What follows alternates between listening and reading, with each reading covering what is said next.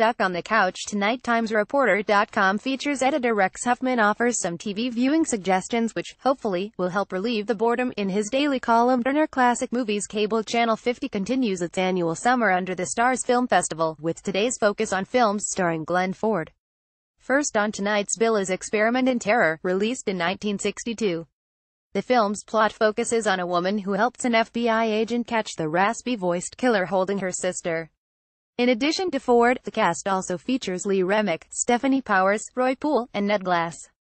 The Violent Men, a film released in 1955, starring Ford, Barbara Stanwyck, and Edward G. Robinson, follows at 1015 p.m. on TCM Cable Channel 50.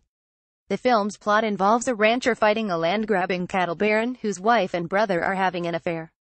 Also in the cast are Dianne Foster and Brian Keith. Diana Her Story airs at 8 p.m. on PBS.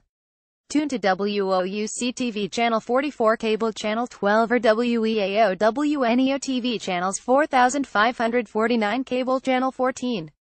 The documentary features rare video and interviews to reveal an open and candid look at the life of Princess Diana, including her marriage to Prince Charles.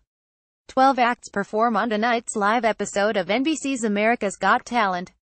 The show airs at 8 p.m. on WKYC TV Channel 3 and WTOV TV Channel 9. A new episode of NBC's Hollywood Game Night follows at 10 p.m. on WKYC TV Channel 3 and WTOV TV Channel 9. Tonight's show features celebrity contestants Mel B, Darius Rucker, Sherri Shepherd, David Feherty, Derek Hough and Andy Richter.